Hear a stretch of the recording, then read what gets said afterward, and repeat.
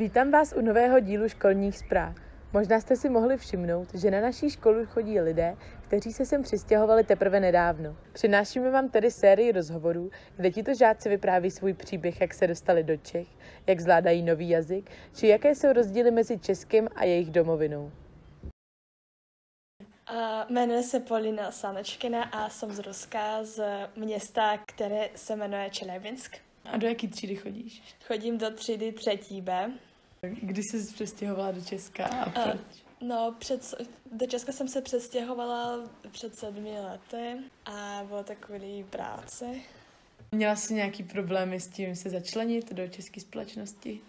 No ano, měla jsem potíže s jazykem, měla jsem se naučit česky a nebylo to úplně nejedno, no, nejjednodušší věc, protože čeština jako je podobná ruštině, ale ve skutečnosti je to úplně jiný. Takže měla jsem se ještě naučit i rozumět jako těm pojmům z různých předmětů. Češtinu jsem se učila ve škole a naštěla jsem kroužek, kde byla učitelka, která v podstatě učila cizince česky a měla jsem se naučit i různé pojmy z, tak, z odborných předmětů. Jaký jsou největší rozdíly mezi Ruskem a Českem? Jeden z největších rozdílů je architektura. V tom městě, odkud pochází, ze kterého pocházím, tam je hodně tředivých paneláků a ještě rozdíl v dopravě, protože v Rusku nejsou jízdní řády a je tam v podstatě jeden takový ten typ dopravy, který se jmenuje maršrutka, což je takový mikrobus, který asi nepotkáme v Česku a funguje to jako na tom principu jako taxi, což je taky docela zvláštní pro Česko. Ještě je tady rozdíl určitě ve školství, že v Česku, aby člověk mohl maturovat, tak musí vystudovat 13 let a v, v Rusku v Rusku to, ten školský systém je úplně jiný, takže v Rusku potřebujeme vystudovat 11 let. A taky je rozdíl v tom, že v mnohé školy v Rusku chodí do školy i v sobotu, i učitele nemají volno v sobotu, ale musí učit. No, tak to je taky jeden z těch největších rozdílů. Ještě v, jo, a ještě v Rusku jsou hodně obchodů, které mají otevřen, otevřeno non-stop, takže 24 na 7 a v Česku je to v podstatě úplně zvláštní. V Česku ty obchody mají uh, tu provozní dobu do 6 hodin v podstatě. Mhm. A kde se ti líbí víc? To je velice složitá otázka, uh, proto, jelikož nežiju v Rusku už sedm let a v Česku jsem spokojená a už jako tady jsem našla svůj, do, svůj nový domov, takže jako je to fakt hodně těžká otázka na odpověď, ale kdybych se vrátila do Ruska, tak by to pro mě bylo velice obtížné teďka se tam zařadit, takže chtěla bych zůstat v Česku. A jaké jsou tvoje plány po maturitě? No, po maturitě bych pravděpodobně chtěla zůstat v Česku a chtěla bych uh, jít na univerzitu. Abychom mohli porovnat jednotlivé jazyky mezi sebou, zadali jsme větu Právě jsme v knihovně a natáčíme nový díl školních zpráv. Nyní si tuto větu můžete poslechnout. Uh, my сейчас сидим в библиотеке, и мы сейчас снимаем новый выпуск школьных новостей. Jmenuji se Nariman Nabhani jsem napůl Češka, napůl Palestinka a chodím do třetí A. Kde jsi se narodila? Narodila jsem se v Emirátech a žila jsem tam 16 let. A ve kterém městě? V Abu Dhabi. Kdy jsi přestěhovala do Česka? Přestěhovala jsem se do Česka v roce 2017, takže jsem tady skoro dva roky. Proč jste se přestěhovali? Kvůli škole rodiče chtěli, abychom se naučili líp česky. Oni předpokládali, že já třeba tady budu chtít studovat a ještě kvůli finančním důvodům. Jaký jsou největší rozdíly mezi životem v Abu Dhabi a v Liberci? E, no, určitě je tam úplně jiná kultura. E, Emiráty jsou muslimská zem, ne? A, takže uh, určitě to. A ještě je tam víc národností. Tady se potkám víceméně jenom z Čechy. Jsou nějaké rozdíly mezi školou tam a školou tady? No, tam potřebujeme 12 let dostudovat uh, před maturitou a tady 13, tak to je asi největší rozdíl. A ještě uh, výuka tam byla v angličtině a tady v češtině. Kde se ti líbilo víc? To je těžká otázka. Já nevím, každá země má něco hezkého do sebe, takže asi bych si nemohla vybrat. A jaké máš plány po maturitě? Po maturitě bych tady určitě nechtěla zůstávat. Chci buď uh, do Německa, uh, anebo bráchu mám v Belgii, tak asi tam bych utila. Jak jsi naučila místní jazyk? Měla jsi s tím problémy? Mamka mě učila česky už od mala, a, takže umě, uměla jsem základy a uměla jsem se i domluvit, ale třeba ty pojmy v nějakých předmětech, to jsem neuměla a bylo to těžké se to naučit a pořád mám i problémy třeba se skloňováním a tak. Právě jsme v knihovně a natáčíme nový díl školních zpráv. Dobře. نحن هلا قاعدين بالمكتبة وعم نصور حلقة جديدة لأخبار المدرسة Jmenuji se Dmitrij Ušakov, jsem z Moldavy, pro kámoše jsem Dima Dimulka, to je nejlepší Moldavec. A chodím do třetí B.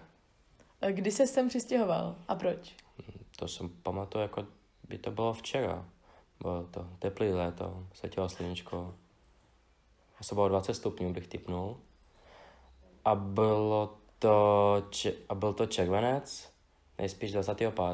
Mm. v roce 2015. Proč jste se sem přistěhovali?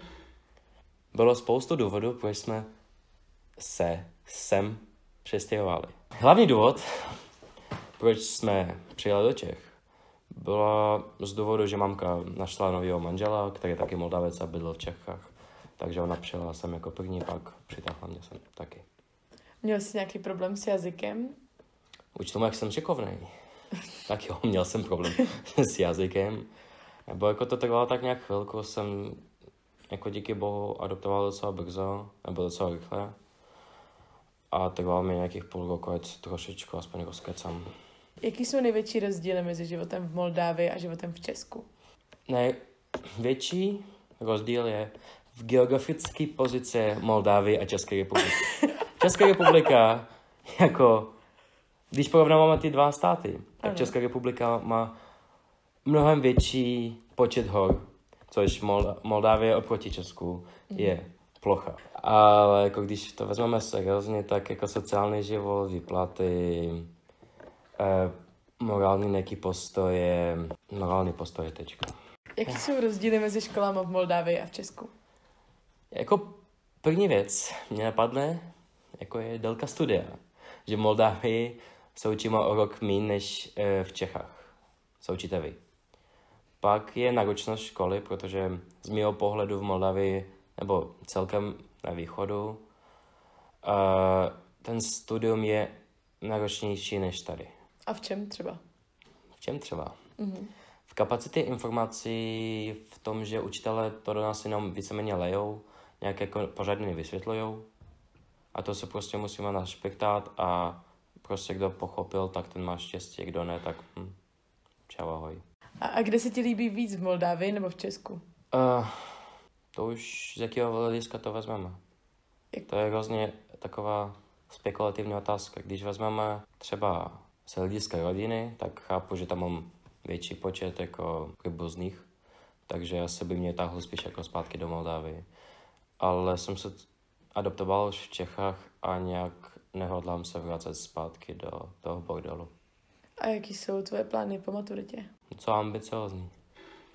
Chtěl bych se dostat na Medinu, i když nevím, jak to vyjde, to je jedno, a pak nějak bych chtěl se přestěhovat třeba do Norska. Amu suntem în bibliotecă și facem o video pentru școala.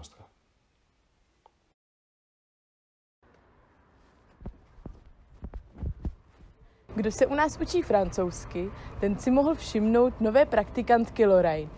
Trochu jsme ji pro vás vyspovídali. Užijte si tedy následující rozhovor. Kde jste se narodila? Alors, euh, bonjour Lauriane, est-ce que tu peux nous dire euh, où tu es née tout d'abord Je suis née à l'île de la Réunion. Mhm, Narodila jsem se na ostrově Réunion. A kde to je? Alors, c'est où Tu peux nous préciser c'est où C'est dans l'océan Indien, à l'est de Madagascar. Mhm, Je to v Indickém oceánu euh, na východ od Madagaskaru. A jak jste se dostala do Česka? Et comment ça se fait que tu es venue en République tchèque Donc, euh, pour mes études, je suis allée à Lyon et euh, je dois faire un stage à l'étranger pour devenir professeur de français. Ça fait partie du cursus. Donc euh, j'ai choisi la République tchèque parce Mhm. que je ne connaissais pas. Mhm, takže on už eh, Lorian tři roky studuje v Lyonu a jelikož chce být um, učitelkou francouzštiny pro cizince, tak v rámci toho studia musí absolvovat zahraniční stáž a padlo to na nás, na Českou republiku, na Jergim, na Liberec. A jak jste se dostala právě do Lyonu? Alors, euh, tes études à Lyon, euh, comment ça s'est passé Pourquoi, pourquoi Lyon Euh, pourquoi Lyon Parce que je n'aime pas Paris. Mhm, Protože nemám ráda Paříž, takže spíš Lyon. Et euh, au moment où j'ai décidé de quitter l'île pour faire mes études, mon frère Mhm, habitait déjà à Lyon. Mhm. Takže v- během toho, co já jsem ještě byla na ostrově, na Reunionu, tak můj bratr už studoval v Lyonu, takže i to byl ten důvod. Donc euh, j'ai voulu le rejoindre. Mhm. Chtěla jsem prostě za ním do Lyonu. A jak dlouho tu plánujete zůstat? Donc, euh, tu, tu restes finalement combien de temps en République tchèque? Euh, je suis restée presque trois mois. Mhm. Jsem tady vlastně tři měsíce. Jaké jsou rozdíly mezi životem v Česku a na Reunionu Mm. nebo v Lyonu? Mhm. Alors, euh, bon, euh, euh, est-ce qu'il y a, euh, que- quelles sont les, les grosses, euh, des grosses différences entre la vie à La Réunion, ou à Lyon, ou en République tchèque ici? Hmm. À La Réunion, c'est beaucoup plus chaleureux, je pense, Mhm. et euh, beaucoup plus métissé, Mhm. puisque la culture. Euh, ouais. euh, Par rapport à, à Lyon ou par rapport à la Liberec hmm, par rapport à Liberec, Mhm, surtout. mhm. Eh, Říká, že vlastně na tom Reunionu je to všechno takové vřelejší a je to způsobeno tím, že tam je mix různých národností, různých náboženství. Ale nemyslí to nějak negativně samozřejmě, to je jenom konstatování. Et puis, euh, par rapport à Lyon, je pense qu'on peut dire que c'est beaucoup moins stressant, Mhm. parce que c'est une île. Mm, mm. A na tom ostrově je taková větší pohoda oproti Lyonu, je tam daleko méně stresu, daleko méně napětí. Je to prostě ostrov, je to ostrov v Indickém oceánu, takže proto. Je něco, co vás v Česku šokovalo? Ah, est-ce qu'il y a une chose qui t'a choqué en République tchèque Non, ça va. Ne, všechno je, spécial. všechno je v pohodě, nic, nic jiného tady úplně nešokovalo, nepřekvapilo. Dobře, děkuju, to je všechno. Alors, euh, merci euh, pour l'interview et bon séjour en, en République tchèque et puis euh, bon retour en France à, à La Réunion. Nikui. Děkujeme, že jste se podívali na tento díl školních zpráv a budeme se na vás těšit zase u dalšího.